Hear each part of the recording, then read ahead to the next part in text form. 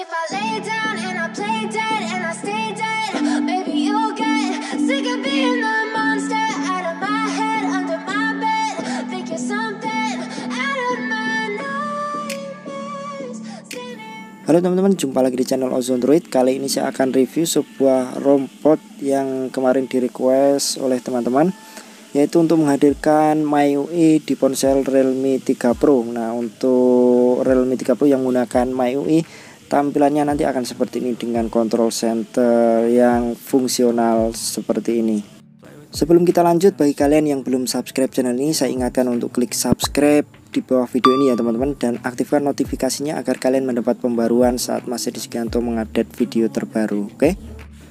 Untuk display tampilannya nanti akan sekilas seperti ini. Nanti akan kita bahas lebih jauh ya. Tapi agar kalian tahu sekarang saya akan tunjukkan ROM yang saya gunakan.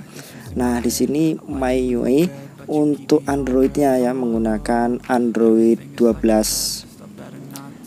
Nah, di sini untuk varian yang saya gunakan menggunakan RAM 4 dan 64 ya.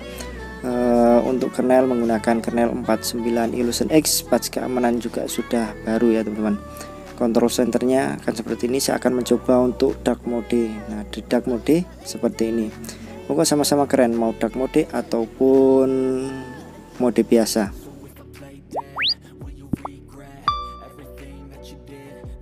Oke itu tadi untuk upload ROM yang saya gunakan. Kita lanjut ya untuk display Nah pada bagian display layar home screen seperti ini yang seperti saya singgung kalian bisa menggunakan widget otomatis seperti ini menggunakan layar beranda seperti ini. Lalu untuk koleksi stok wallpaper juga keren dan banyak.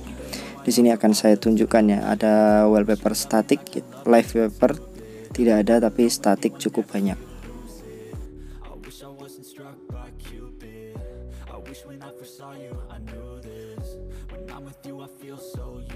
Untuk tampilan lain kalian bisa mengakses aplikasi Moto. Di sini kalian bisa mengkostumisasi dan personalisasi seperti font, kemudian tema, lalu berbagai macam gestur, display. Pokoknya segala hal kostumisasi kalian bisa dapatkan di aplikasi Moto ini. Lalu ada assistive touch seperti ini, seperti layaknya Vivo juga dan iPhone ya. Selanjutnya untuk pengalaman pengguna user experience tentunya dari segi keamanan layar. Di sini saya akan carikan dulu. Pada bagian keamanan layar tadi saya sudah mencoba ya, teman-teman. Di sini hanya terdapat dua yang bisa kalian gunakan yaitu seperti pola dan juga face unlock untuk fingerprint. Saya rasa dia tidak bisa bekerja atau ngebug Uh, untuk kamera juga demikian. Nanti pada Bluetooth akan saya hilangkan ya pada portnya uh, kalian bisa menggunakan Gcam-Go sini juga fiturnya sudah banyak.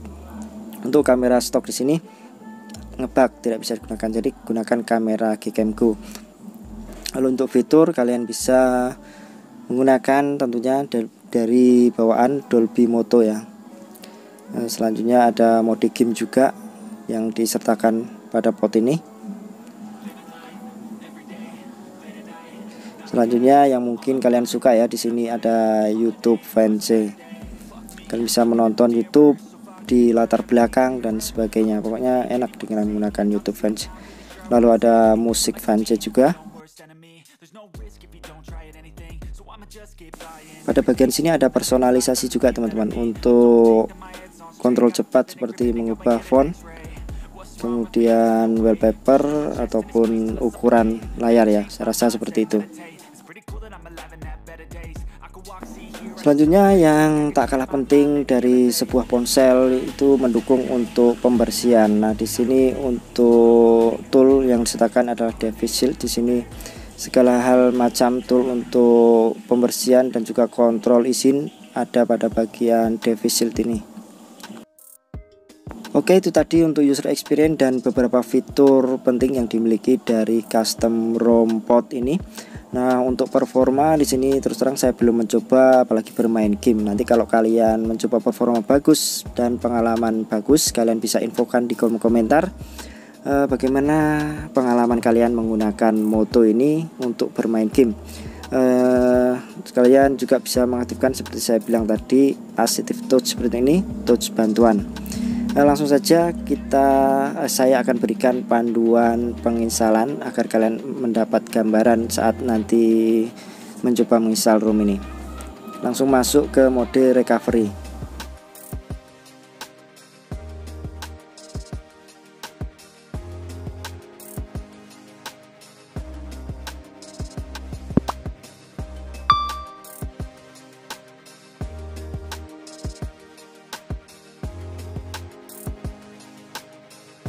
Pada menu recovery, langkah yang bagus adalah kalian cadangkan data kalian ya. Apa pun itu cadangkan foto video.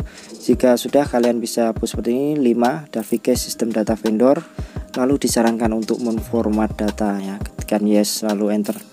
Lalu install saja ROM zip-nya, lalu install yang kedua install patch ya teman-teman. Kalau sudah install patch kalian bisa reboot ke sistem.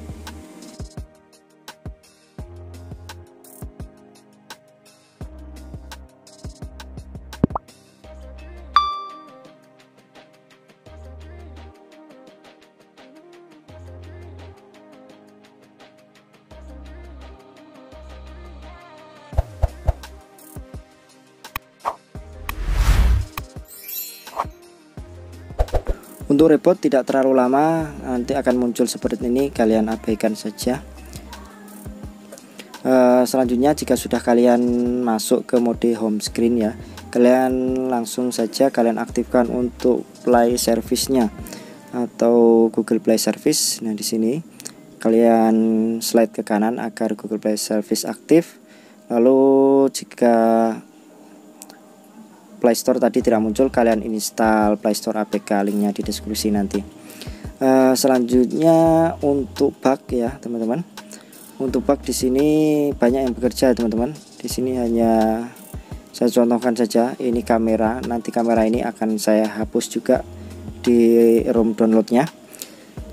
Uh, selanjutnya yang kedua tidak ada fingerprint yang tadi ya bugnya. Tidak ada fingerprint jadi cukup gunakan face unlock Oke, itu saja untuk kesimpulannya ROM ini seperti saya katakan tadi ROM ini tentu saja sangat bagus, banyak fiturnya dan tentunya keren dan berbeda dari ROM-ROM lain.